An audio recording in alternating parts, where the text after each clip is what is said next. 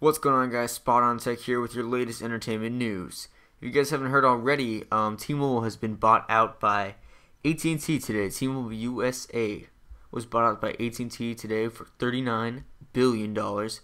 Um, the whole transition deal is probably going to take around 12 months to take effect. So all you T-Mobile customers out there are still going to be part of T-Mobile for about a good year now, unless it gets um yeah, you know, it could be, be passed earlier. It could could be rejected actually. It could be rejected, and you T-Mobile customers will actually be T-Mobile forever. But that's probably not going to happen because uh, the FCC probably will pass this um, AT&T uh, and T-Mobile merger. There are some upsides to this AT&T T-Mobile er, merger actually.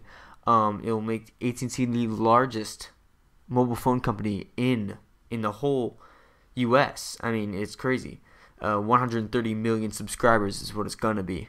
And it'll cover 95% of the entire U.S. with LTE.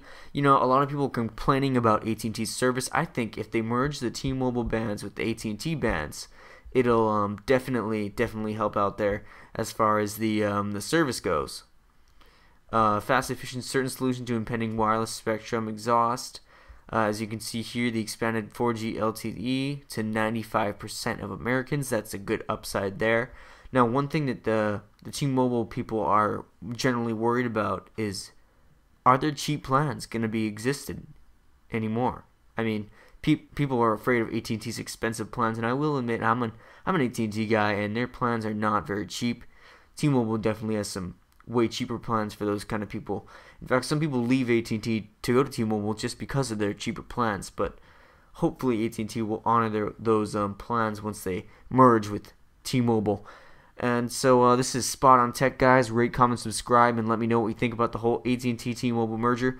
Once again, this is Spot on Tech. Thanks for watching.